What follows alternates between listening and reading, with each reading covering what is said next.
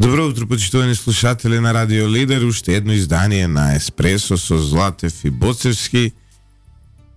Нов ден, но секој како се ближиме до изборите, се повеќе и повеќе се дефинираат некако работите. Ивица? Па, мислам дека денеска секој се издефинира, затоа што денеска најавија уште а, ДУИ и движењето Знам а, објава на нивните председателски кандидати. Да, денеска Дуи знам ке И мислам дека тука ќе се дефинира горе долу до сега полето. Значи, во однос на ВМРО ДПМН се е јасно, Да. затоа што единствен пријавен кандидат до нивната конвенција со собрани 30 подписи од нели членови на конвенцијата е Гордана Силјановска Даф. Да. Таа е веќе условно кажано после ова се протоколарно. Па исто и ке СДСМ. да го прокоментираме ова, мене искрено, иако никој не ме прашал, но е, да си го кажам својот личен став, мене искрено не ми се допаѓа што ВМРО ДПМН на конвенцијата ќе има само еден кандидат, затоа што сметам дека тоа е партијата која треба по овие избори да донесе одредена демократизација на оваа земја, малку да ја отвори, премногу е затворена во некакви елити, секојаш ВМРО ДПМН ја отварало Македонија. Малку така. Нови кадри, нови луѓе така натаму.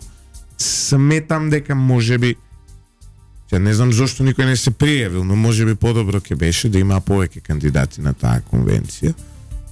Нели предходно господинот Мицкоски изборуваше дека мера три кандидати, па кој ќе бил како ќе бил. Може подобро ќе беше тие тројца да се соочат, нели, пред делегатите на конвенцијата на ВМРО ДПМН. Гордана Сијановска Давкова ми било професорка, едно од подрагите. Ја почитувам како професорка и како интелектуалец. Но морам да бидам искрен дека ми е малку жал да речеме за еден Александар Спасеновски кој исто така навистина е интелектуалец, председателски штоф, како да кажам. Ајде, ќе видиме што ќе покаже нели, но ќе можеби ќе гледаме реприза Пендаровски Силјановски. Сега сме се уште нема објавено. Во однос на председателскиот штоф, мислам дека одлуката на ВМРО ДПМН е исправна. Затоа што од сето тоа што излегуваше во јавноста, ова е председателскиот штоф. Мене не ми е да, тука сум веројатно малку субјективен затоа што а, и јас и ти сме били на правниот факултет. Знаеш дека таму има многу професорки, но кога каже професорката на кого се мисли Лјупчо?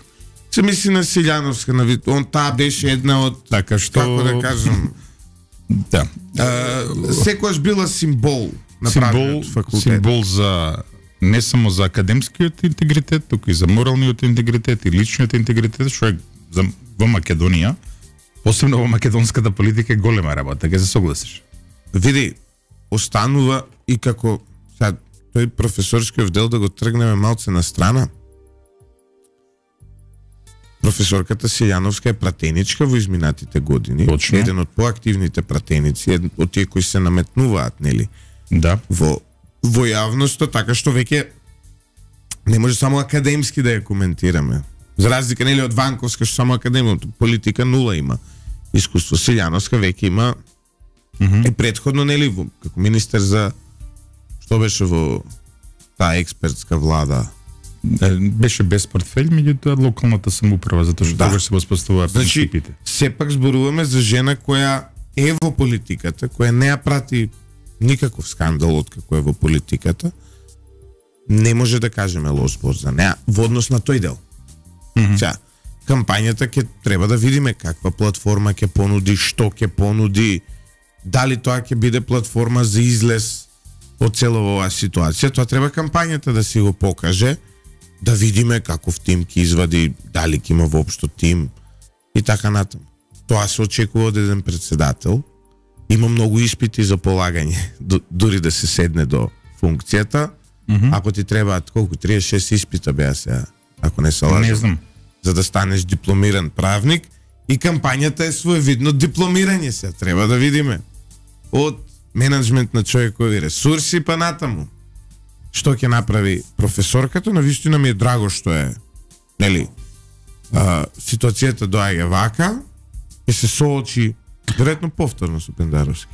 А, не, види, само уште еден коментар ке дадам. Се сеќаваш која ја објави својата кандидатура минатиот пат во 2019 година, Трендо имаше нов еден убав коментар.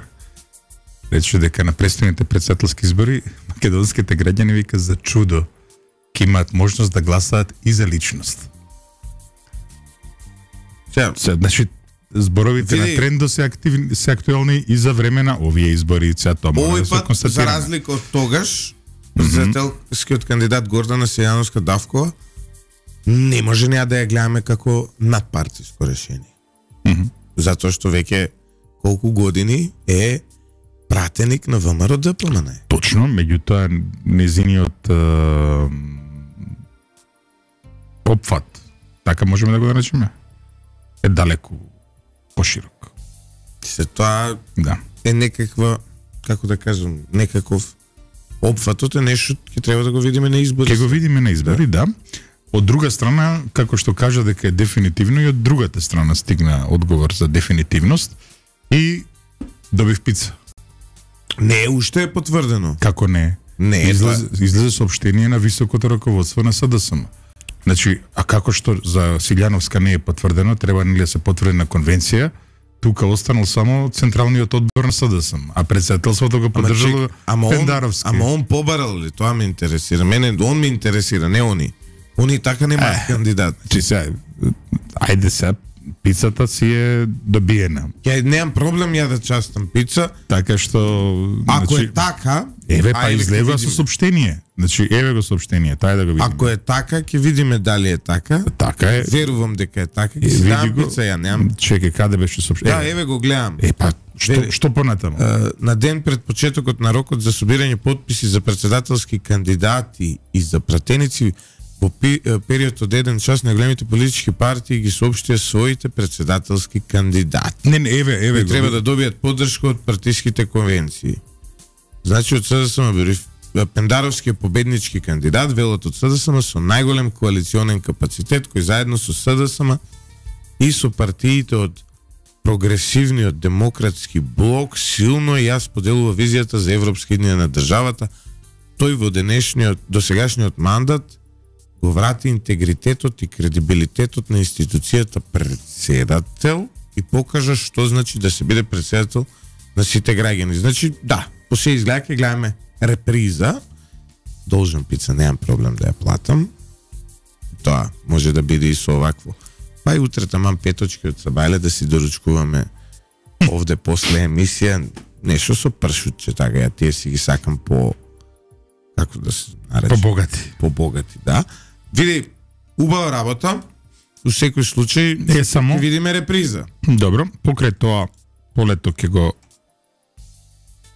тука и, и како што рековме, со, ќе собира подписи Ванковска. А, Собира подписи Стевчо Екимовски. Да, Стевчо Акимовски, движењето знам, еве, излегуваат имиња, излегува имињето на Максим Димитриевски, Венко Павле- Андоновски и Павле Арсовски генералот. Тие тројца се сега во... Види, мене сега Ако Арбен Таравари го знаеме дека иде со опозицијата и чекаме денеска, иако вчера рекоа за Фатмир Дехари како кандидат на на Дуи, Дуи, најверојатно ќе биде Бујар Османи. Од она што го слушаме. види сега, во однос на ај ај прво да фатиме уствари што Ванковски што ќе ја фаќаме, она треба да собере подписи сега. Ако не собере, не ја ја вети в телевизор, нели? Ако собере, ќе излезе, нели, таа ќе се трка. Стефчо Екимовски исто треба да собере подписи. Не е гром толку голема партија така лесно да ги собере, а периодот е мал. Ќе видиме што ќе направи. Дали неговата кандидатура е упат во гласовите на опозицијата? Искрено не верувам, затоа што да бидам искрен, за градоначалник на Карпаш верувам дека може да собере гласови Стефчо Екимовски, но за председател мислам Да, дека на за- господинот Екимовски квантумот му е многу намален. Да, понизок му е отколку... Да, да. Не многу далеку понизок, затоа што кога го гледате него пред себе, гледате човек кој, не знам, треба да ви ја реши улицата, канализацијата, игралиштето и така натам. Нема президеншал штоф во овој момент. Мгм. Без навреда никаква кон него, да се разбереме. Тоа е. Али ај, ќе видиме. И тој треба да собере подписи. Во однос на Дуи, да, излезет шпекулација дека ќе биде Али Ахмети. Сепак ќе оди со првото решение кое овде се зборуваше, тоа е Бујар Османи, по се изгледа, се и тоа ќе го видиме. Е сега тука пак сакам да се вратиме на албанскиот политички блок, нешто mm -hmm. што го говоревме пред три дена, ако се сеќаваш. Добро. Пред три дена имавме една полемика пред слушателите, секој гледаше, нели, различно имаш. И ја и ти имавме дебата и слушателите меѓу себе у коментари имаат дебата. А тоа е улогата на албанската опозиција. Вчера Таравари за прв пат одржа пресконференција и он ги кажа трите постулати на неговата Добро. кандидатура што ќе бидат веројатно и на обединетата албанска опозиција тие постулати. Вика. Трите главни цели се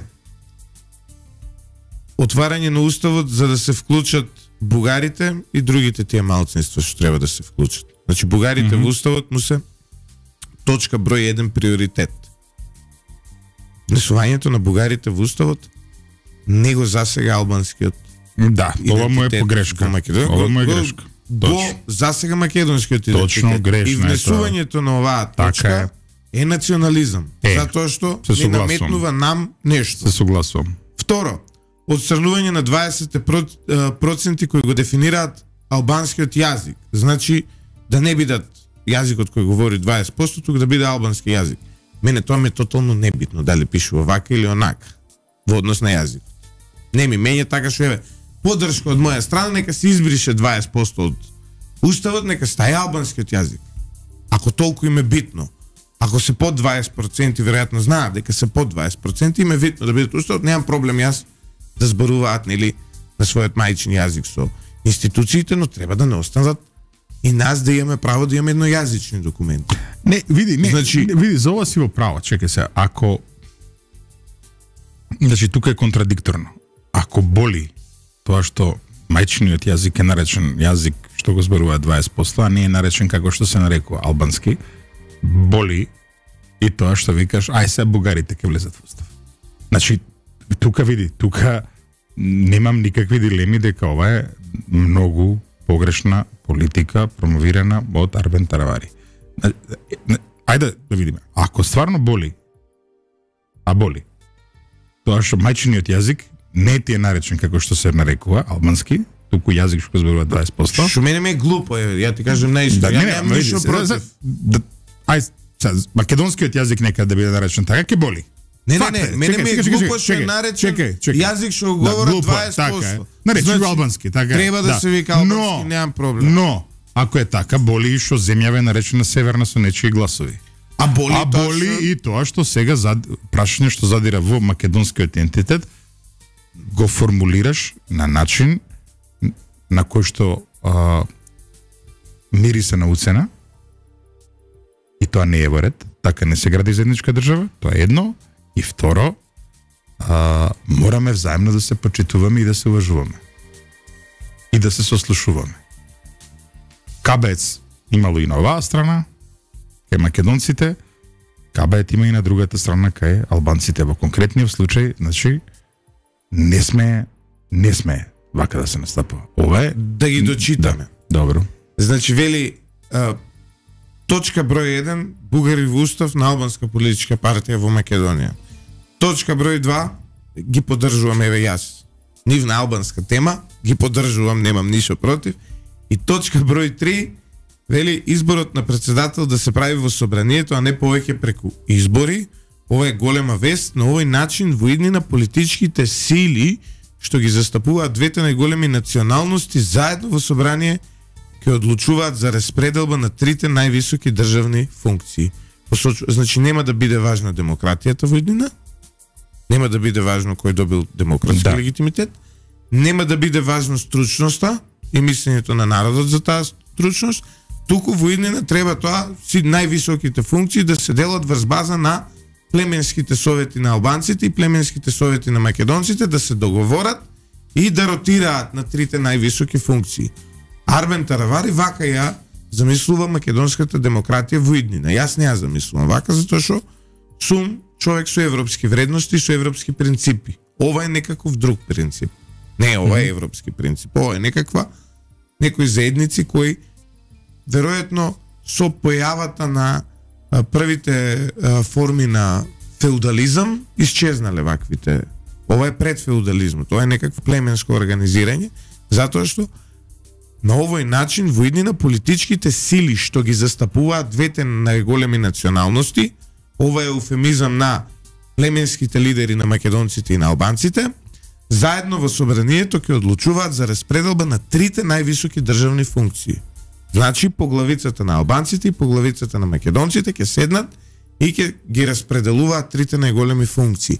И нема да биде важно кој колку образован, паметен, искусен, каква платформа, каква програма нуди, нема да биде воиднина според програмата на Едина Таравари.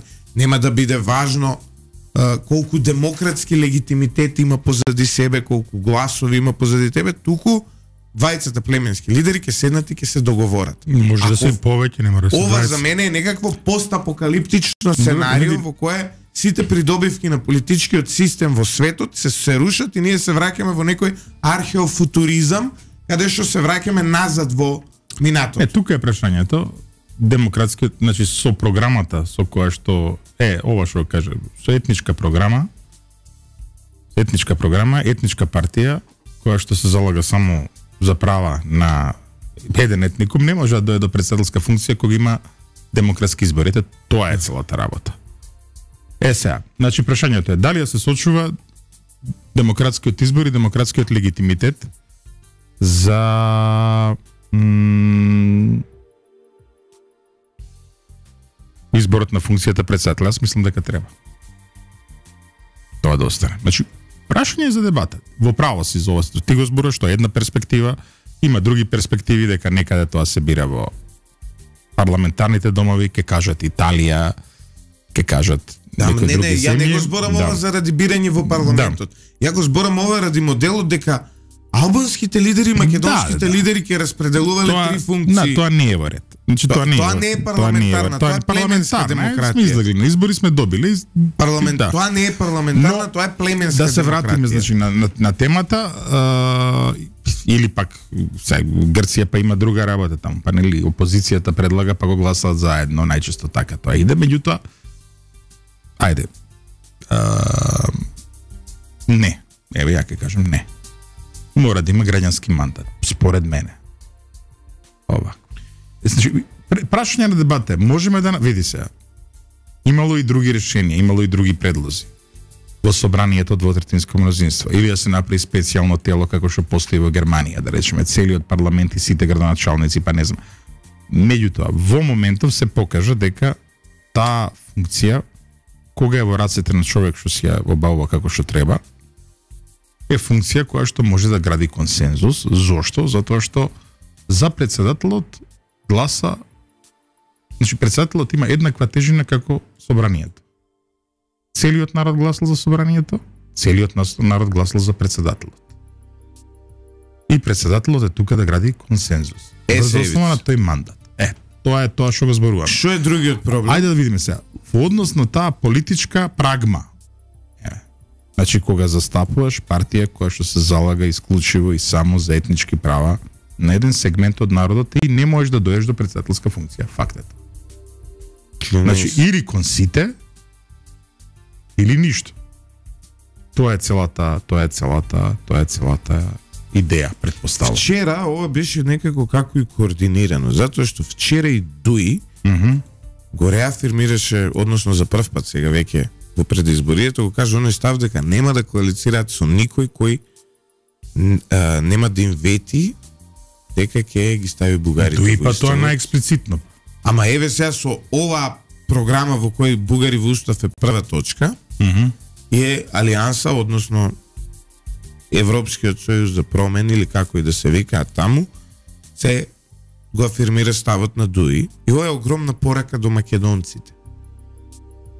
Значи, ова значи, во овој момент сега ја да ви го преведам, ова значи дека доколку сакате вие, бугарите да не влезат во уставот, ја немам ништо против, но не вака и не сега, треба тоа да се направи една еден поинаков комплот на настани, да се Мгм. дефинира малце подобро рамката одново, ако сакаат да влезат, иначе немам проблем да влезат. Но, доколку сакате да го зачувате достоинството и идентитетот на својот народ, ВМРО ДПМН треба да има 61 пратеник без албанскиот политички блок. Значи дали сами, дали со Максим Димитриевски, затоа што во секој друг комплот уцената е таа. И ние после ќе идеме нови избори, ќе пропаднат, нема да се направи влада и така натаму. Очигледно е дека идејата на бугари во уставот албанците сакаат да не имплементираат и да одлучат за нас исто како што одлучија за промената на името. Во наше име. Дали вие ќе го прифатите тоа? Зависи од вашиот глас. Вие може да одлучите за себе, секој. Доколку одлучите, доколку помалку од 61 пратеник освои ВМРО ДПМН. Па значи помалку од колку таму посто од гласачите не гласаат за нив, вие, почитувани слушатели, одлучувате бугарите да влезат во уставот. Исто како што кога го изгласавте Зоран Заев во 2017 година, вие одлучивте да се смени името на државата. На тој начин кој што се смени. Од нас зависи, е сега, прифаќате, не прифаќате, ги сакате, не ги сакате, но ми интерес. Ако сакате да се избришите самите од уставот на оваа држава, ако сакате племенски сојузи да ви бираат председатели, премиери и председатели на собрание, наместо вие да ги бирате на избори, тогаш слободно. Верувајте на лажни пророци, верувајте на СДСМ ако сакате, на кого сакате верувајте. Но немојте после да се жалите. Затоа што до сега се што сте имале од 2017 година понаваму, а сте имале најмал економски раст во регионот, сте имале најлоша нели слика за и за меѓународна политика, и за дипломатија, и најголеми одстапки, све сте имале најлошо, но сами сте си го одлучили Луда корупција. луда корупција, сами сте си го одлучиле тоа. Затоа сега мерете дали е паметно вака или онак. Ја да не бидам сега тука дека ве, ниту ве насочувам, ниту ве сугерирам, ниту ништо.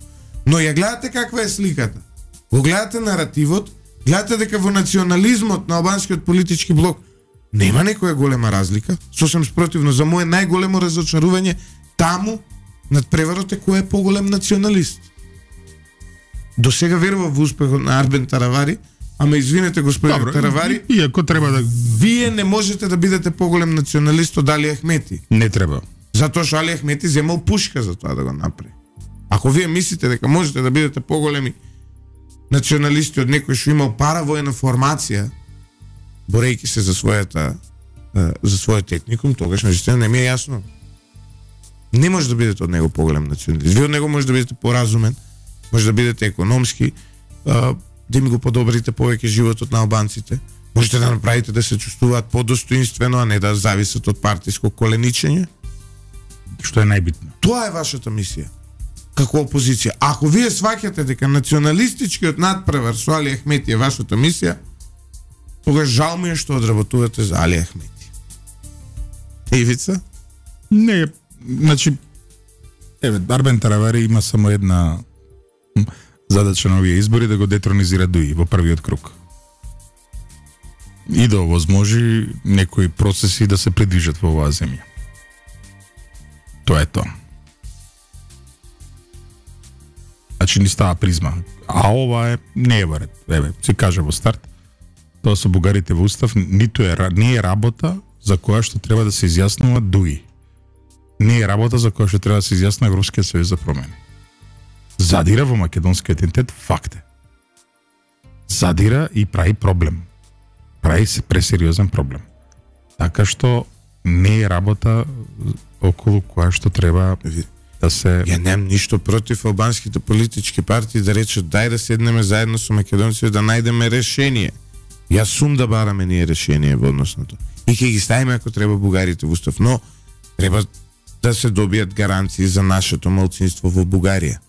Треба да се добие а, како да кажам, гаранција од ЕУ дека нема во преговарачката рамка историја да се става. Да, Сега ја немаме ние таа гаранција. неаме тоа. После утре ќе речат вака на некои наредни избори, ќе збори Таравари, Ахмети и Петко и Станко, ќе речат ај Гоце Делчев да признаеме дека е бугарин за да влеземе у ЕУ, ги повикуваме македонците. Чим се држнале ово да го направат, утре и тоа ќе го направат. Тоа е исто како ние да побараме од албанците да сак да пример да го повлечеме да биде упред избори од Македонија, ВМРО и СДС да се надпреверуваат и прва точка да им биде повлекување на признање на Косово. Не, не, има, не, ова не, не Значи- е тоа, не е тоа. Ова е поништување на Охридскиот рамковен договор. Да, Целосно. и да се надпреверуваат ВМРО и СДС да, го поништат Охридскиот рамковен договор. Да го дали сега ние Косово ќе го повлечеме признавањето. Ма нема врска, тоа е друга држава. Ова е баш тоа прашање. Ајде сега да одиме во во работи кои што кои што ги влошуваат меѓуетничките односи. Ова ги влошува. Ова не е работа. Ова е срамота. Еве, се кажам отворено. И, и лошо е тоа што ги има во, во, во нивната програма. Не е варет. Не е варет. Е, Славко вели, многу лесно коментирате некако има ли рамковен договор или нема, професорката Давкова прашните за тој дел јазикот на заедницата кој има 20% пооткако ќе ви каже зборувајте.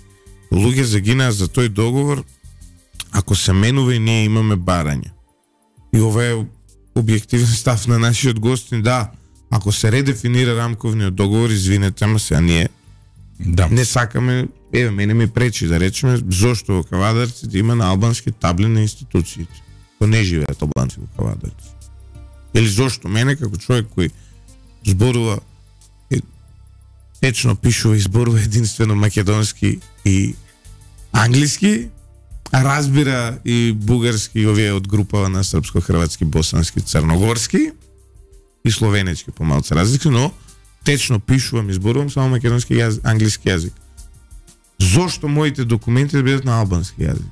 Решение од институции и така натаму. Што имам јас? Со тоа. Немам ја против двојазичност, да. Сакаш на албански, ќе ти ги направат на албански. А зашо мене да ми ги прават на албански? Лудо. Лудо.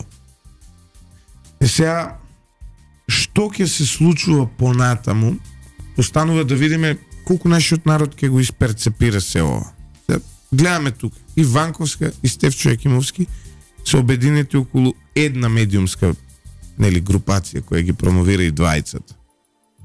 Околу една група на луѓе која е сервис и на Стефчо Јакимовски, и на Данел Арсовска, и на Билјана Ванковска, односно на Левица, една структура која ќе види всушност си тоа се три политички субјекти кои имаат еден из шеф. Не знам како се вика. Проценете си сами. Што се? Е како? Значи, Стефчо и Данела, да.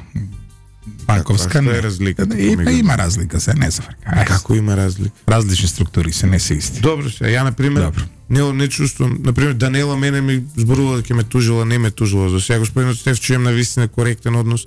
Не можам да кажам лош збор за него. Станува збор за еден добар градоначалник до ден денес и покрај сите таму скандали што ги имаат и несогласување и така натаму. Ние дури неговите ставови за облакодерите овде ги застапувавме. Но сега нема Кој- не, кој облакодери? за разлика за разлика од од Стефчо Јакимовски, да речеме, кој секојаш бил навистина коректен. И мислам дека ќе остане коректен затоа што е таков човек, градски човек. Билјана Ванковска мисли дека ние сме одвратни. не, не, не шиканира, не ги шиканира нашите фамилии, моите барем во случајот, незината политичка опција. Јас тоа не можам да го прифатам затоа што станува збор за една политичка опција што заканува дека ќе не убива деца, ќе не стрела, имотот ќе не го зима, ќе не плачеле децата. Ако ти веруваш во таа политичка комуникација, тоа е твој проблем, мој не е. И јас ти кажувам дека медиумската промоција која ја добиваат Стефчо и Данела Варсовска е истата и доаѓа од истата групација, од истиот овакво, што ја има Левица. И тоа се гледа. Левица е дел од тој конгломерат. Единствениот цел на тој, единствената цел на тој конгломерат е јасна, што е можно повеќе да се ослаби опозицијата во македонскиот политички блок за да може, нели? За да може Дуи, кој е веројатно главен финансиер на сето тоа, да биде повторно фактор во држава. Еве ај баш ќе видиме, баш сакам да видам. Ај, ова сега види се, Да. ова влева фантастика влегов. Ај, Не е фантастика, Ајде, се, не е фантастика. Ќе видиш, ако собере Ванковска подписи, баш би сакал да ги видам имињата и презимињата на подпишаните, да видиме колку ќе имаат албански име и презиме. Добро. Јас мислам дека точно Баш тоа сакам да го видам. да. дека дека точно е дека стојат од таа медиумска групација за Данела и за Стевчо. Мислам дека Левица најопортуно го гледа тоа како може да се ги пласира преку некој медиум своите ставови, ништо повеќе. А дека се исти, не се исти. Тоа со Дуим има малце преизместено, мислам дека мислам дека повеќе треба да се бара одговор на друга страна. Математиката е секогаш кај дуи. Значи, нив Да, да. најмногу им одговара нивниот успех. Де факто, потврдено до сега. Но добро. Абе вид, сега пак се занимаваме со работи што Што се многу важни. маргина. Не се маргина, затоа што ќе бидат маргина, ќе бидат маргина во моментов ко, во моментот кога ќе немаат шанси. Се додека таа маргина го блокира ВМРО ДПМНЕ од квантумот на гласови и квантумот на пратеници со кои би ги спречиле овие националистички политики. Би го спречиле влегувањето на бугарите во уставот, би го спречиле од водомни парламенти, племенски ротации на функции и така натаму. Се додека е тоа така, јас одбирам да верувам дека работ... таа маргина ја прави големата штета. Добро. Тоа е моето лично мислење. Имаме вчера Што имаше друго вчера интересно Ицо? Па, не, се изоструваат работи во председателската трка, тоа е тоа. Стево, ја не очекував еве да бидам искрен, ајде да се вратам тоа, пици изгубив, сега барем имам право некој збор да кажам. Ја не очекував дека ќе одем, а ти излезе управо дека човекот стварно нема работа. Ја мислев дека ќе има достоинство некакво и дека нема да прифати така да замине во историјата. Како? Па како губитник. И тоа голем губитник, затоа што во првиот круг Стево Таравари и Али Ахмети ќе бидат онака на исто ниво, да бидам искрен. Позади нив малку ќе бидат Стефчо и Ванковска, малку бајаги поише позади нив. Негде 3 спрема 1 ќе биде односот. Ама дупло поише од нив има кандидатот на ВМРО ДПМН. Ако ВМРО ДПМН у прв круг има 300.000, а толку негде ќе бидат од прилика, според мене. Таравари, Ахмети и Пендаровски сите ќе бидат помеѓу 100 и 200 илјади. Ај, не сум подготвен да правам прогноза во моментов. Uh, не сум подготвен да правам прогноза во моментов, морам да кажам, меѓутоа се распадна тој планот на планот на СДСМ што го форсираше целиот овој период, дека наводно они ќе бидат обединети во некаков блок и дека ќе се оди со тоа старото сценарио, лошо сценарио, дека едно малцинство од македонците заедно со сите албанци топтан ќе може да ги надгласа мнозинството од македонците. Е, лошо е тоа. Значи, е, иако за жал нашиот поредок овозможува таква ситуација, тоа не е убаво. Не е убаво.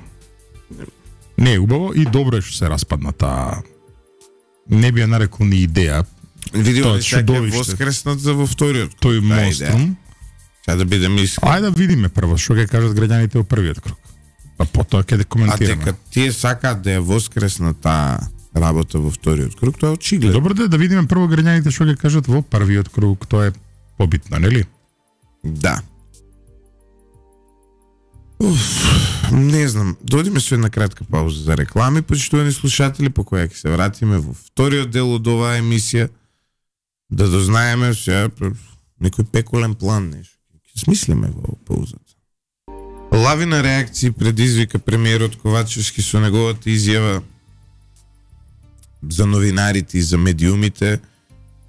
Претежно алудираше на телевизиите кога велеше сами сте се пробале и уште сега се продаваат и вели ке квичеле по подруми новинарите. Реагираше АВМУ вчера, реагираше ЗНМ. Или како две релевантни представници на новинарите. Искрен да бидам Ирица, не знам од кај доаѓа ова се, се пресметува. Вчера малце го прокоментиравме, вчера на Канал 5 ме замолија да коментирам, не знам што да коментирам, толку сум вџашен како може човек вакво нешто да каже. А не само тоа, знаеш што ми е чудно? Чудно ми е, нели бил предавач во МИМ. Не ми е јасен човеков. Така? Вчера се Значи, ако си бил предавач на а, занатска школа, кај што се образувале македонски новинари, си ги гледал си. Не, не, не, а не за предавач веројатно си се подготвувал, така ли? е? Па си се социализирал со професијата, па си дознал како тоа функционира, нели?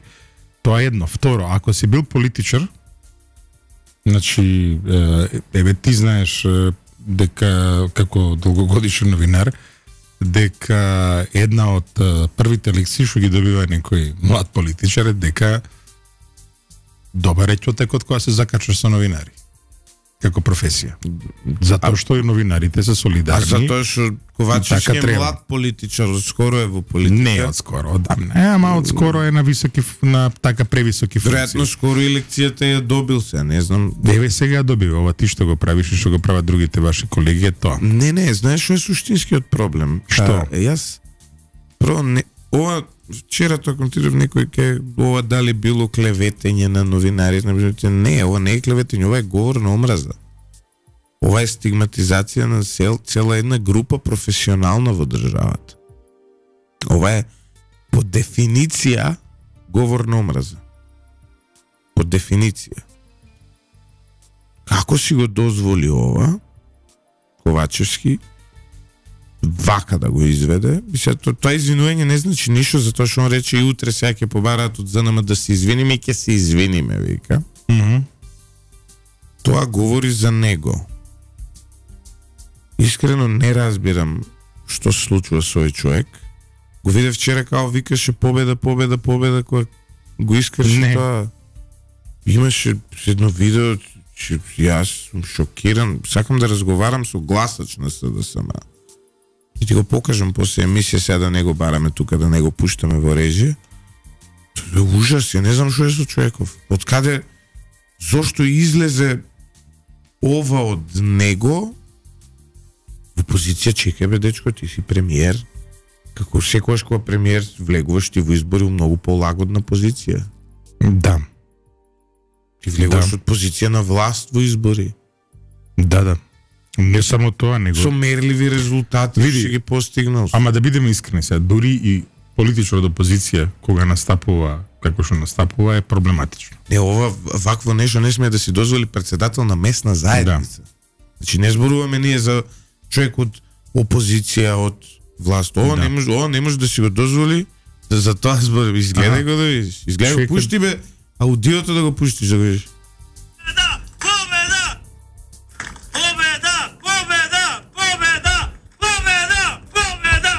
Го видели лупа таму по тоа ја искрши како се вика говорницата Чеков. Не знам што му е. Еуфорија го пукна, иако не постои еуфорија очигледно. Мислам, нигде не постои еуфорија во никој политички субјект во овој момент затоа што прво, која е еуфорија која државата во една очајна ситуација во потрошувачка кошница за 4 члена семејство чини 57.000 денари во моментов, а тоа е повеќе од 50% од две минимални плати. Тоа значи дека доколку двајца во едно семејство земаат минимална плата, Точно. не можат да го довршат месецот.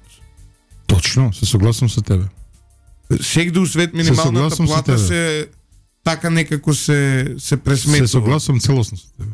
И сега Што? И сега со победа, победа ќе тропаш по, по маси. Значи, они ја покачиле платата просечна. Добро, во време на ВМРО била пониска, ама колку била пониска, ВМРО која си замина, потрошувачката кошница беше 37.000 денари. Да. Да. Не, 34.000 денари. А минималната плата беше 15. Чи 15, 15, 37.000 денари ви фале. Сега, 20.000 и 20 се 40.000, а е потрошувачката кошница 57.000. Значи ви фалат 17.000 денари од минималната плата. Ви фалеле 7, сега не дека тоа било совршено, сме живеле во, во земја на богатството, сега ви фалат 17. Да, проблематично е тоа. И тоа е многу проблематично, Лјупчо. Но, пак ќе кажеме дека реакцијата беше жестока од е, медиумите и така треба така треба да биде. Согласуваш ли со мене? Да, дека ова е ова е работа која што која што Демек си го доби, ама тоа е тоа. Ке одиме се малце надворешна политика. ајде. Значи, првото е дека малку кадровска политика, добро. А, иден а, шеф на НАТО ќе биде Марк Руте, досегашниот а, Не Германија. холандски премиер. А, холандски премиер. Марк Руте, да. Јас Досегаш род беше. го помеш. Не, не, не, Марк Руте. Марк Руте. Добро. А, според медиумите а, главниот што се прашува за ова американскиот председател дал согласност за таа работа. Така што Искусен политичар во секој случај. премиер водел земја, да. А, и а, доаѓа од земја на ЕУ за разлика од досегашниот нели генерален секретар на на НАТО. Доаѓа од една центристичко десна политичка партија. Да, да, десни либерали се тие да. ако веќе мора да ги определиме каде се на сцената, кој што катастрофално ги изгуби изборите сега, ама добро, тој си нашол златен падобран, како што се вели во, во политиката. А, одиме понатаму, а, во а, значи ова ќе мораме да го спомнеме дека а, после белгиското председателство со Европската унија, кое што трае до први до 30 јуни, значи следното председателство е на а, Унгарија.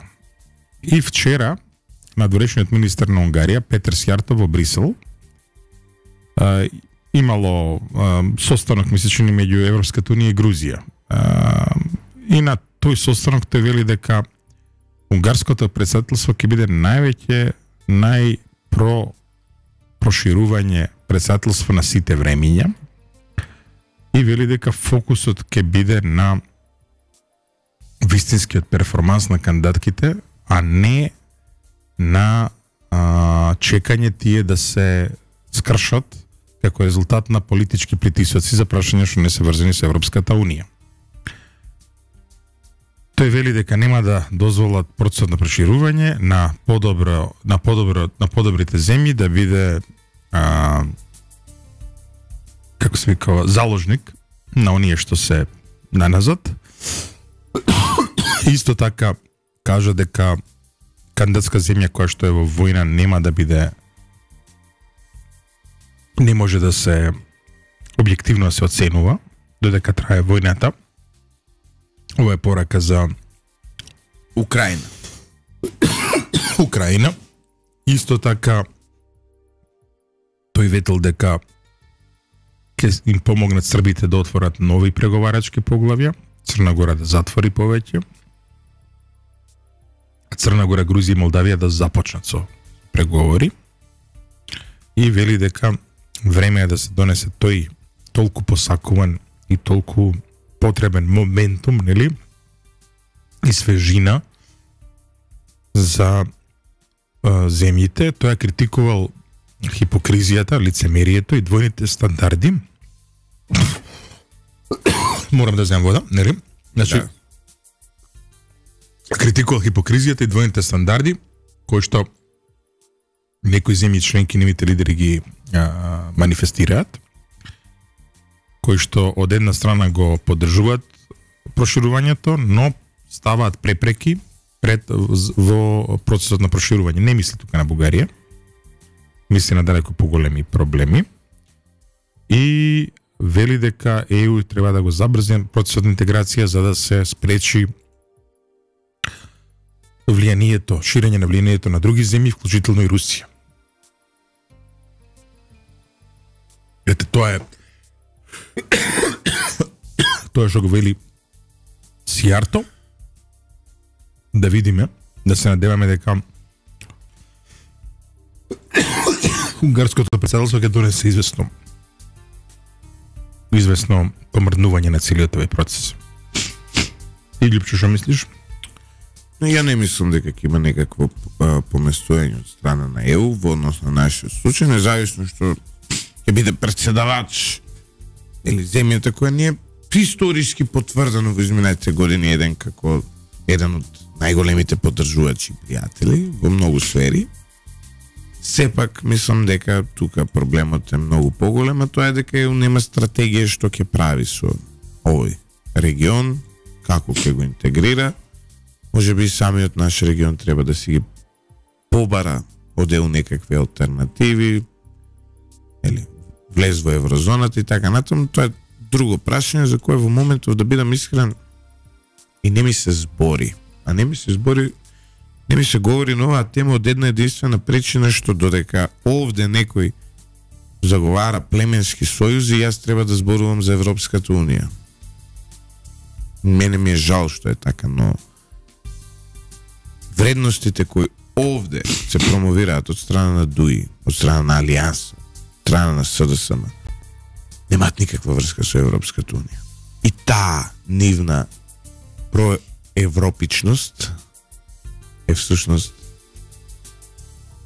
Маска шарада. Се. маска шарада позади примитивното примитивната позадина. Сметам дека во овој момент таа тема за нас е најмалку важна, ние имаме многу други работи да завршиме Но и важно. ќе се вратиме. Не, не, не, важно е се мора прво едно нешто, тоа никој вчера баш тоа го зборав и сега ќе повторам, ќе бидам доседен. Зошто пропадна идеја околу францускиот предлог? Зошто ние не заземавме други позиции? Опозицијата тогаш молеше се сеќаваш да биде вклучена кога го врати Демекони францускиот предлог, да биде вклучена за да се постигне еден консензус која ќе биде нашата линија во однос на францускиот предлог.